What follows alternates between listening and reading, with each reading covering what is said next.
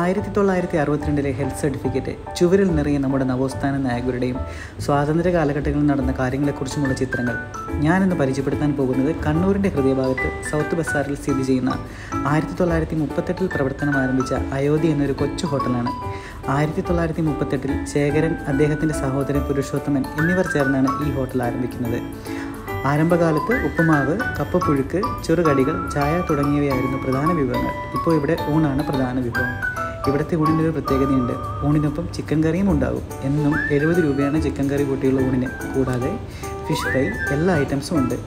രുചിയുടെ കാര്യത്തിൽ ഒരു വിട്ടുവീഴ്ചയും ഇല്ലാത്ത അയോധ്യയിൽ സ്ഥിരം സന്ദർശകർ നിരവധിയാണ്.